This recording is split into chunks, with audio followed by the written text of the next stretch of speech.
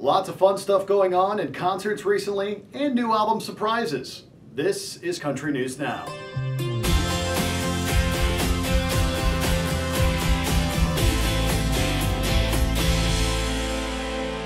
Lady A's Hillary Scott wowed the crowd when she brought her eight-year-old daughter on stage during their tour stop in St. Louis at the Hollywood Casino Amphitheater.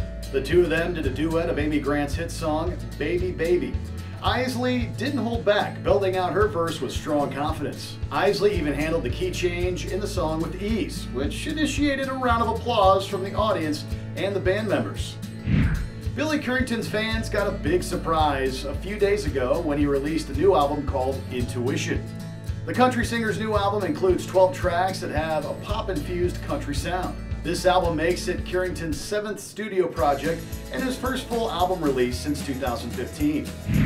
Garth Brooks made Two Little Girls' first concert a memorable one during his stop in Kansas City, Missouri. Video has been released showing a little girl on the shoulder of what is assumed to be her dad with a sign reading, Garth, it's our first concert. Garth took notice of the little girl and her sign and the family was given upgraded seats. And according to the video uploaded to TikTok, Garth tells a little girl named Giada they both have the letter G in their names. He then asks, what has a G on it that I'm thinking of? He then takes his guitar, which is a big G in the center of it, and removes it from around his neck, signs it, and gives it to the little girl. For more country news stories, make sure you follow us on Instagram, Facebook, or Twitter at HankFM.